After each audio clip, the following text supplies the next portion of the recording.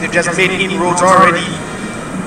And it's that change that has brought some, a little bit of impact, if I should say. Go just going off for Akidoko, who started in that game, that 1-0 loss to Cote d'Ivoire. It should be a potent attack to give some heading to the centre back pair of Idris and also Bafa, who have been on the virtual holiday in the first 45.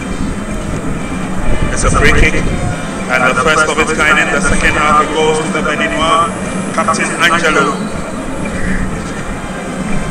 Knows one, it's blocked by the wall. Sabo was in there, and clears out.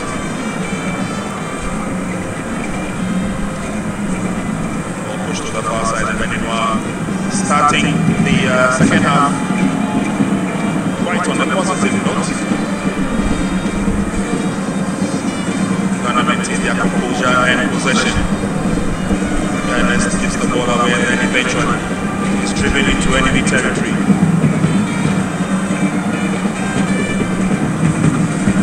Ernest involved in that nearly went down. Advantage says the referee. Ernest Fori, uh, Hugh Ayamba, two key players rely on going through the middle. Opportunity for Ghana as they come forward. Yes, Nabi brings it back. Oh, this plays fast. I'm disappointed from him. Nani, with his quality, should be doing better. Ball rolls over the line and Beninois could not keep it in play. And over the last couple of minutes, the numbers here at the University of Ghana Sports Stadium keeps increasing. I guess the, the good news is spread out there. Benin nil, Ghana foot to. I guess it was a bit of a foot up. Seen him this afternoon, Sapo. But whenever he's been called into action, he's really done so well with his own play. Earlier on, we saw that Dabi, that freed Nabi at the left side.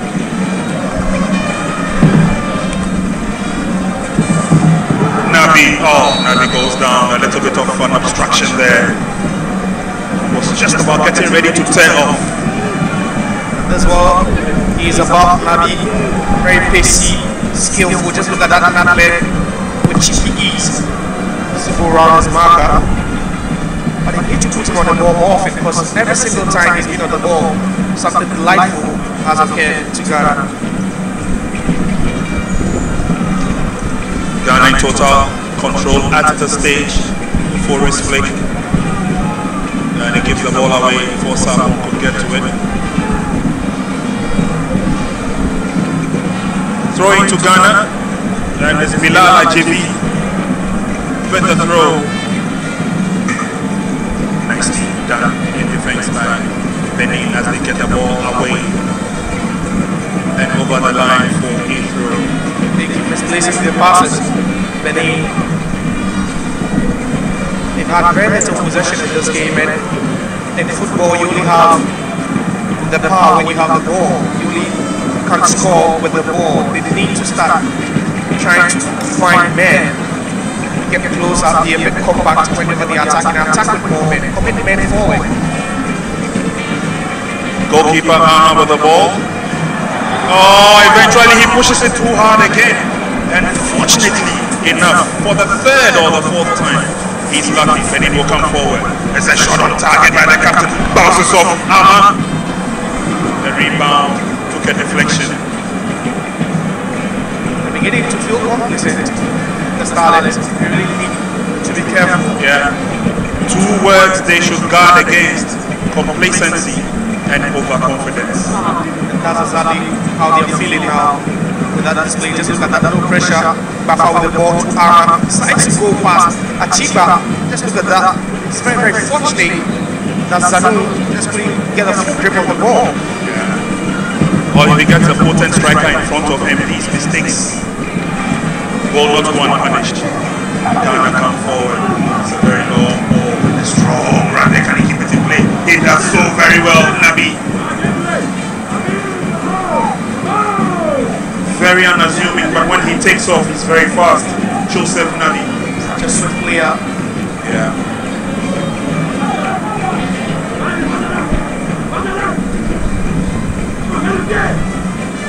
One two by Ghana. Sabo goes down. Kani gets the ball though. Chasing for it is his lead. And the minute mark captain, he's showing how strong he is. He lays on the pass through the middle. Bilal to the rescue. He definitely is covering himself in glory, Achifi Bilal from the Makrobi Banana Inn Football Club. Just good on defense. Very, very good offensive. Fullback as well, Ajevi. This very, very compact partnership uh, with the back line of Bafa and Ijisu. All together with the left fullback is the Mohammed of uh, Still Believe. They have kept the flanks boiling with action. The middle. All the way back to Kachikolo.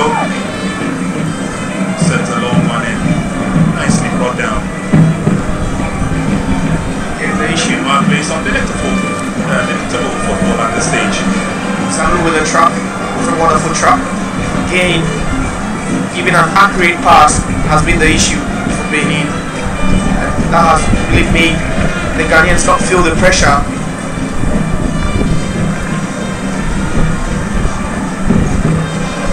Yes, Angelo. Sent it all the way back. Trying to hold it in check there. That did not work. They didn't have a lot of trouble. Eventually, it is uh, Ashraf who goes down. Free kick advantage to Benny. Ashraf Sabam behind the ball. The referee has a quick word with the two players on the field of play. He wants fair play, he says.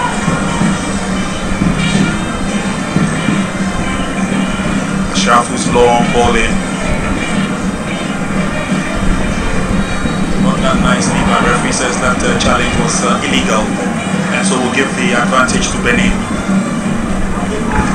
Ernest Ofori has been very busy in the game. it's quite aggressive from him. Whenever he moves out of position to press and win the ball, he, he never makes a mistake. He makes sure that it's either he wins the ball or just you know concede a foul. So Benin making a lot of incursions in this uh, second half. Bilal once again.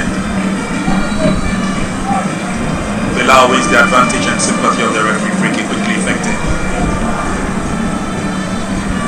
And it looks like the Starlets may have taken their foot off the pedal for a while.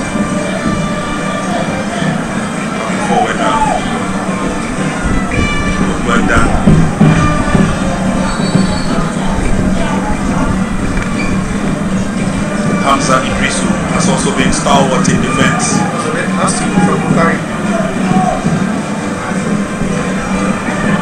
Hamza, the young player from Matram Defisa. Nabi has been set loose again. This time the Benua will not take chances. It's a throw in to Ghana.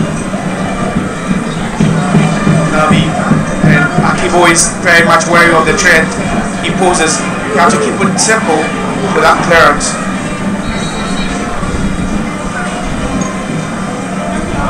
Throw in to Ghana, temporary halt. Again, referee takes the opportunity to issue out a stern warning. Here we go with the throw. It's kicked over the line, indicating a corner kick for Ghana. There's a border. I think that's the right call from the referee. And again, I tend to agree with you, uh, Josiah. We've not seen Still Believe's uh, Sapong in full effect in this game. He's been in the, uh, some tight corners and has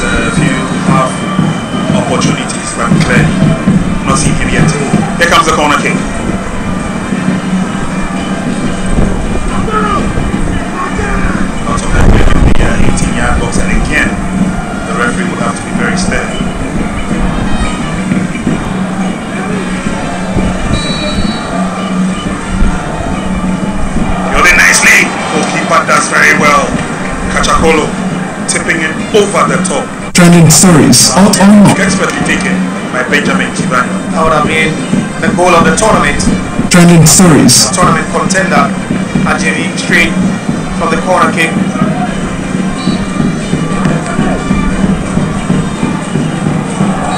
Again, nicely defended by referee. Saw the heckling in there will give the advantage to Benin. Talk about the tempo from the starlet and it's just similar to how they started the game. The first we saw them off the pace for a while. Then when they just stepped on first gear, they moved to first gear. It was a different story. Ayamka lays on the pass the middle. That's an opportunity for Nabi. Joseph gets to it. Oh, clearly, clearly.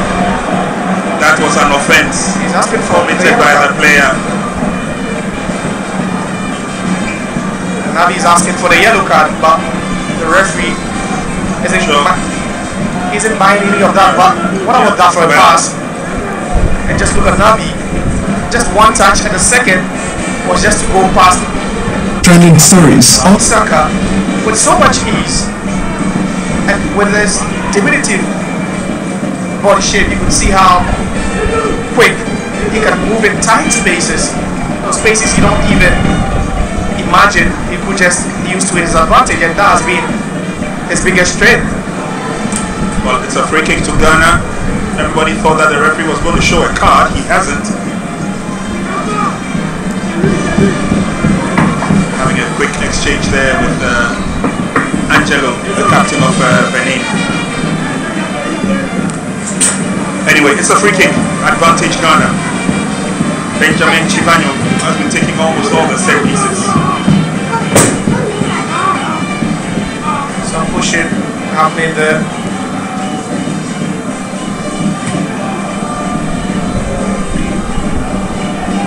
Some step warning as well.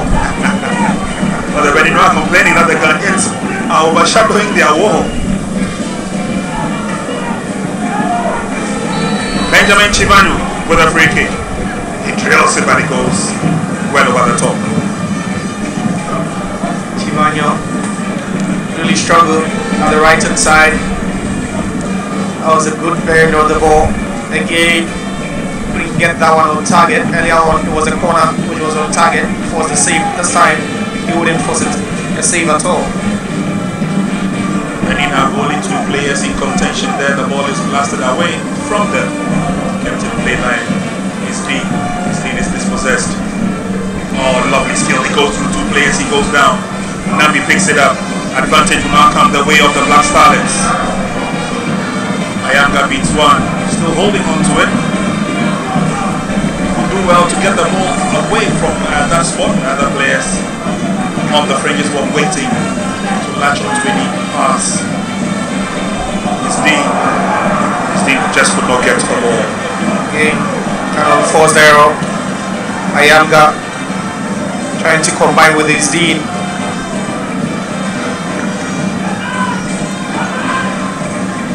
Taken out of uh, that defensive uh, situation by Papa. Then he has the advantage now. Here's the captain, Angelo. Consistency from Angelo, the captain of uh. He plays for the Kafo Academy in uh, Benin. Ayanga. Nabi. Ayanga. It's a bit too far-fetched for Nabi. Obviously would not get to the ball. Again, communication an issue for the Starlets.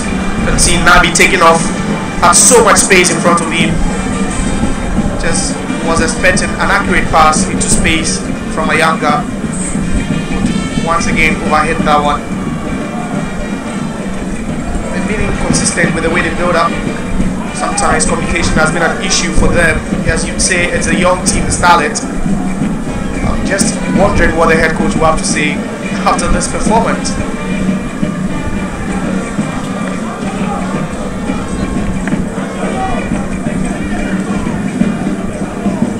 Sixty minutes played in the match. It's Benin nil, Ghana two. Supporters doing their own thing.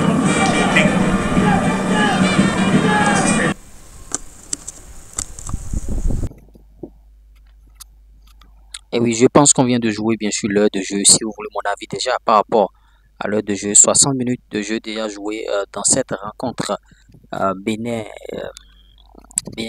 Et on voit que bon, l'équipe béninoise manque cruellement d'envie, vous voyez. Même les quelques occasions qu'ils pouvaient concrétiser des erreurs ghanéennes par-ci par-là, ils jettent les ballons. Bon, ça joue à la barballe, vous voyez, des erreurs Euh, bien sûr, même du gardien ghanéen, on pouvait profiter pour pouvoir marquer, mais on ne marque pas. Et vous voyez, on est à 2-0 à 60 minutes à l'heure de jeu. Je vais sortir la vidéo à l'heure de jeu, à la fin de la rencontre aussi. On va couper un peu, un peu les vidéos pour qu'elles ne soient pas trop longues. Ce qui est sûr, 60 minutes déjà. 2-0, euh, les Ghanéens mènent. Euh, bon, je verrai comment je vais vous faire suivre les buts.